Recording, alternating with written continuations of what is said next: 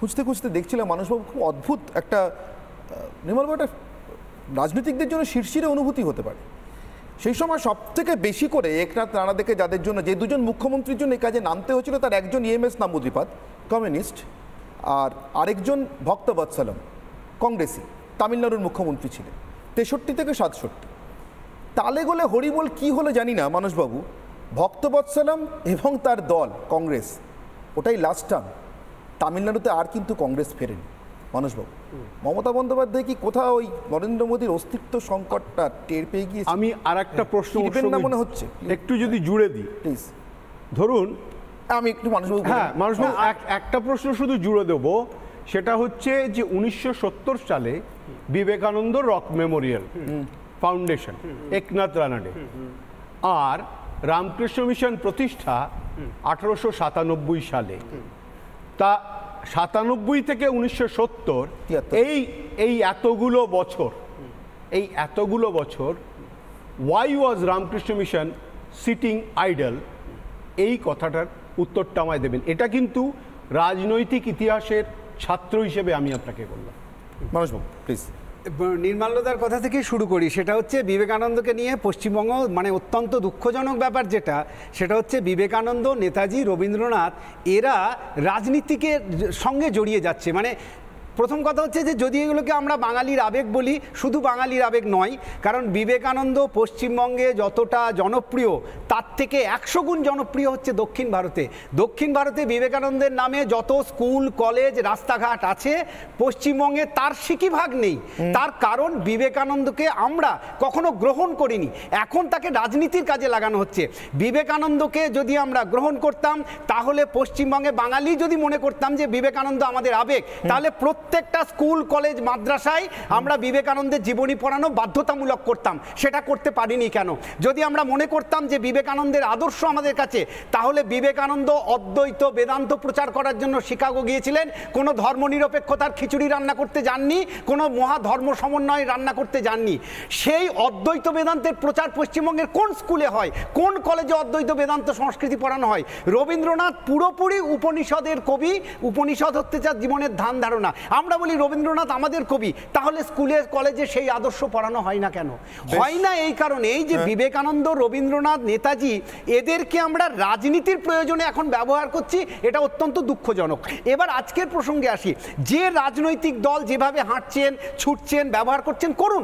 কিন্তু পশ্চিমবঙ্গে বিবেকানন্দ রবীন্দ্রনাথের আদর্শ প্রচারের জন্য তারা কি কি করছেন সেটাও যেন বলেন যে ভবিষ্যতে বিবেকানন্দকে আমরা প্রত্যেকটা স্কুল কলেজ ইউনিভার্সিটিতে বাধ্যতামূলক করব এই বলার সাহসটা যে কোনো রাজনৈতিক দল দাঁড়িয়ে বলবে এটাকে এটাকে বলতে পারবেন যদি নরেন্দ্র মোদী না বলেন?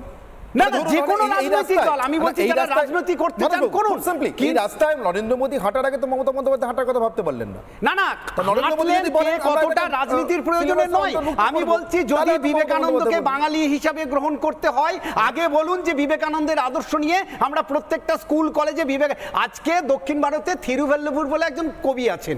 তিন দিন ধরে তার জন্মদিন পালন হয় তার আদর্শের কথা হয় এবং সেটা ওখানকার সমস্ত স্কুল কলেজে বাধ্যতামূলকভাবে হয়। আজকে আমরা বলতে পারব যে করবার সময় তার- পশ্চিমবঙ্গে তিন দিন ধরে বিবেকানন্দের জন্মদিন পালন করা হবে হ্যাঁ। এই দায়িত্ব নিতে পারবে যে কোনো রাজনৈতিক দল যে আমার- পশ্চিমবঙ্গে তিন দিন ধরে সময় একেবারে শেষ। বিবেকানন্দের একেবারে জন্মদিন শেষ। পালন করা হবে বাংলায় কোন রাজনৈতিক দল করবেন এই প্রমোদ দাসগুপ্ত সিপিএম করবে না কারণ বিএলএন ওয়ার্ডকে কফি হাউস বানাতে গিয়েছিল আমার হ্যাঁ, আমার সময় দেখি আজকে আমার সময় সত্যি খুব টানা নিয়েছে একেবারে শেষ একেবারে শেষ আমার সময় তারা হ্যাঁ। হাঁটানো হ্যাঁ। আর তিনশো সত্তর কোটি টাকা সরানো হ্যাঁ। দুটো ধ্যান এক ধ্যান নয় বেশ এই দুটো ধান এক ধান নয় এবং আমি এখান থেকেই সাধারণ মানুষের কাছে যে প্রশ্ন রেখেছিলাম, এই যে অস্তিত্ব সংকটের কথাটা এবং এই অস্তিত্ব সংকটের কারণ কি?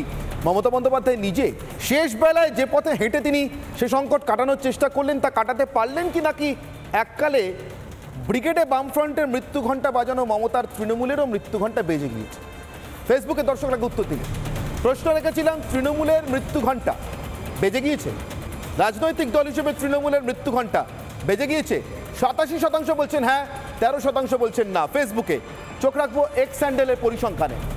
এখানে অষ্টাশি শতাংশ মনে করছেন হ্যাঁ বারো শতাংশ মনে করছেন না। সর্বশেষ চোখ রাখব ইউটিউবের পরিসংখ্যানে। দু ঘন্টায় পঞ্চাশ হাজার মানুষ ভোট দিয়েছেন, তার মধ্যে নব্বই হাজার, অর্থাৎ পঁয়তাল্লিশ হাজার মানুষ মনে করছেন ইউটিউবের পরিসংখ্যানে। তৃণমূলের মৃত্যু ঘণ্টা বেজে গিয়েছে। অনেক কথা হলো বিবেকানন্দ রক মেমোরিয়াল নিয়ে, কন্যাকুমার নিয়ে, স্বামীজিকে নিয়ে। শিকাগো জয় করে ফিরে আসার পর আমি মাদ্রাজের কথায় আসি। মাদ্রাজ মণিশঙ্করবাবু মাদ্রাজ, বেদান্তের উপকারিতা, বেদান্তের প্রয়োজনীয়তা নিয়ে মাদ্রাজের বক্তৃতা করেছিলেন বিবেকানন্দ। মাদ্রাজের অভিবাদনের উত্তরে বলেছিলেন বেদান্তের উপকারিতা, বেদান্তের উপযোগিতা আমাদের জীবন। বক্তৃতা করতে করতে এক জায়গায় বলছিলেন, আমার মনে হচ্ছে গ্রিক দেশের সেই বীরের কথা। আলেকজান্ডারের কথা বলতে চাইছেন, যিনি এক ঋষির সামনে নতজানু হয়ে তার জ্ঞান, তার আদর্শ, তার জীবন দেখে বলছেন, প্রচুর প্রঢৌকন দেবো, অনেক টাকা দেবো আমার সঙ্গে, চলুন। ঋষি যেতে অসম্মত হচ্ছে। ছাড়তে চাইছেন না নিজের কর্মভূমি, নিজের জন্মভূমি। তখন তরবারি দেখাচ্ছেন সম্রাট। বলছেন, চলুন না হলে আপনাকে মেরে ফেলি। অট্টহাস্যে ফেটে পড়ে ঋষি বলছেন, তুমি সারা জীবনে যত কথা বলেছ, তার সব থেকে বড় মিথ্যে কথা হলো এইটা। আমি তো জন্মাইনি, তুমি আমাকে মারবে কি করে? আমি অজর, অমর, অব্যয়, আমাকে মেরে ফেলা তোমার কর্ম নয়। শাসক যখন সন্ন্যাসীকে তরবারি দেখান শাসক যখন সন্ন্যাসীদের তরবারি দেখান, তখন বোধহয় কথাটি বিস্তৃত হয়।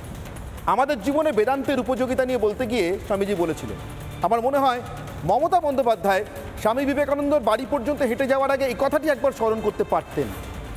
অজর, অমর, অব্যয়, সন্ন্যাসীদের, মৃত্যু ভয় দেখিও লাভ হয় অতএব না হেঁটে যদি সত্যিই কিছু মনে করে থাকেন, যদি সত্যি অস্তিত্ব রক্ষার সংকট বুঝে থাকেন, তাহলে ক্ষমা চেয়ে।